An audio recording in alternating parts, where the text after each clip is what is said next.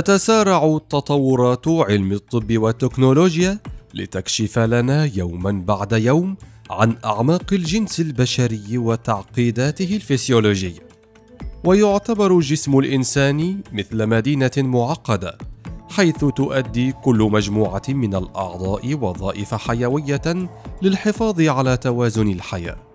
ومع أن كل جزء من هذا الجسم الرائع يشكل جزءا لا يتجزأ من النظام البشري إلا أن هناك بعض الأعضاء يمكن للإنسان العيش بدونها. وفي هذا الفيديو سنعرض لكم مجموعة من تلك الأعضاء وسيذهلك البعض منها بطريقة لا يمكن تخيلها.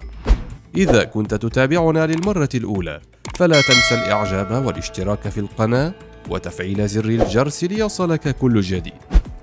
الكلية. هناك أعضاء يتواجد منها في الجسم نسختان مثل الكلى. وفي حالة الكلى تحديدا فإن الجسم يستطيع العيش بكلية واحدة ودون مشاكل صحية تقريبا وذلك في حال الحصول على العناية اللازمة. في حال كانت الكلية المتبقية سليمة وصحية فإن ذلك قد يكون كافيا لجعلها تعمل بكفاءة كليتين ودون مشكلات. ولكن في بعض الحالات الخاصة قد تنشأ مضاعفات صحية مثل خلل بسيط في وظائف الكلية المتبقية أو الإصابة بارتفاع ضغط الدم. المعدة والأمعاء الدقيقة. مع أن هذا من الصعب تصديقه إلا أن العيش دون معدة وبشكل صحي أمر وارد الحدوث. فقد يقوم الأطباء بعمل جراحة تربط البلعوم والمريء مباشرة بالأمعاء الدقيقة. بعد فترة النقاهة والتعافي من الممكن للمريض أن يعود لتناول الطعام ولكن بكميات قليلة مع أخذ مكملات غذائية تساعد في تعويض أي من المواد الغذائية التي لا يتم امتصاصها بكفاءة. كما من الممكن العيش بشكل طبيعي بعد استئصال جزء أو كامل الأمعاء الدقيقة مع إجراء تغييرات في حمية المريض الغذائية، فهي تعد إحدى الأعضاء التي يستطيع الإنسان العيش بدونها. القولون عند استئصال الأمعاء الغليظة أو القولون، يحتاج المريض لتركيب كيس خارجي لتجميع البراز فيه. حيث إن البراز الآن لن يستطيع الوصول إلى فتحة الشرج كالمعتاد دون وجود قولون، يكون الكيس بحجم كف اليد ومتصلا بالبطن ويحتاج من المريض وقتا للاعتياد عليه.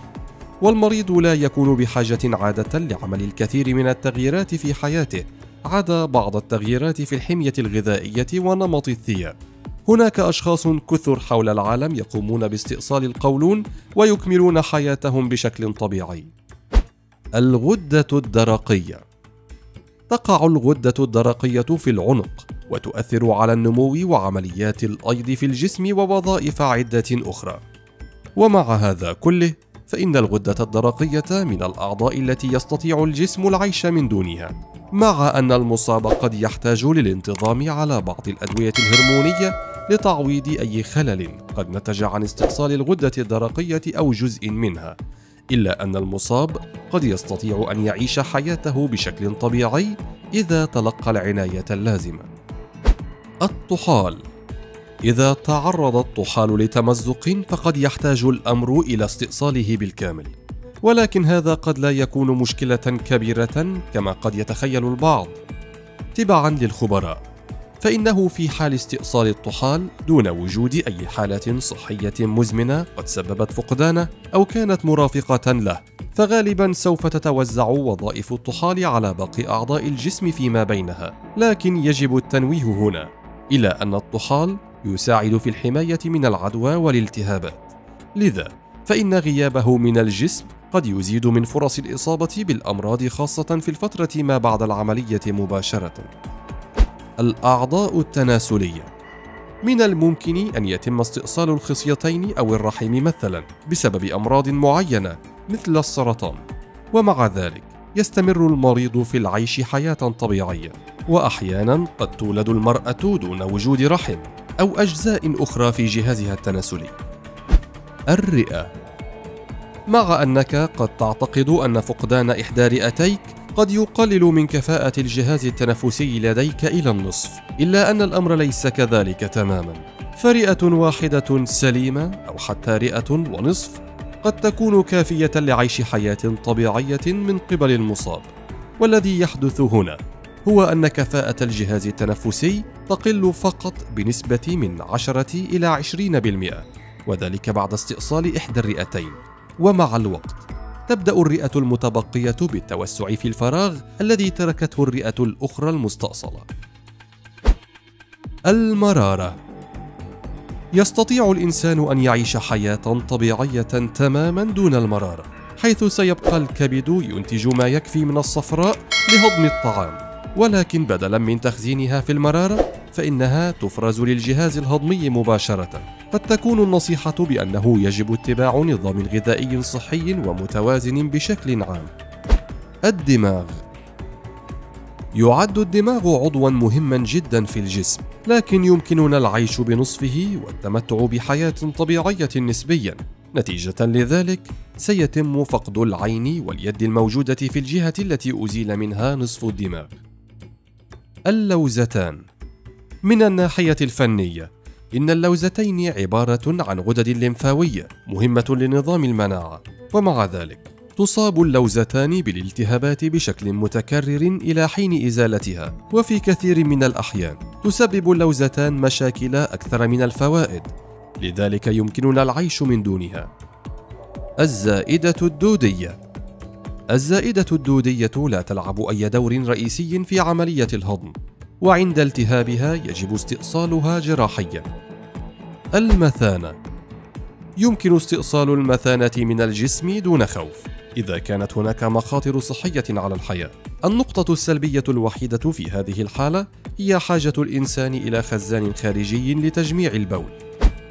العصعص يقع هذا العضو في نهاية العمود الفقري ويتكون من ثلاث إلى خمس فقرات منفصلة أو منصهرة تحت عظم العجز أي الجزء الأخير من العمود الفقري في جسم الإنسان ويمكن للإنسان الاستغناء عن هذا العضو دون أن يؤثر ذلك على حياته. أسنان العقل. إلى جانب كونها مؤلمة للغاية عند التخلص منها فإن أسنان العقل عديمة الجدوى وتتسبب في اختلاط الفك لدينا وإعاقة صحة الأسنان. شعر الجسم. إن شعر الرأس يعمل على حمايتنا وعزل الحرارة. بينما يحمي شعر الحاجبين عيوننا من العرق. وبالنسبة للذكور يمكن أن يلعب شعر الوجه دورا في الجذب الجنسي. إذا لماذا نحتاج إلى شعر الجسم؟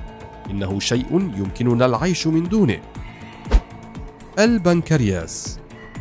يفرز إنزيمات الجهاز الهضمي وبالذات الأنسولين الذي يسبب غيابه مرض السكري. فعندما يستأصل في حالة الإصابة بالسرطان يتعين بعدها على الشخص اتباع نظام غذائي خاص مدى حياته وكذلك تناول الإنزيمات وحقن الأنسولين العيون بالطبع يمكن أن نعيش بدون أعيننا وقد يفقد الإنسان البصر بسبب حادث أو قد يولد بدون حاسة الإبصار ومع ذلك يعيش حياته بصورة طبيعية. وفي نهاية هذا الاستكشاف لعالم الأعضاء البشرية التي يمكن للإنسان الاستغناء عنها، ندرك أن جسم الإنسان يظل آلة حية معقدة تعتمد على تناغم فريد بين أعضائها. إذا أعجبكم الفيديو لا تنسوا الاشتراك في القناة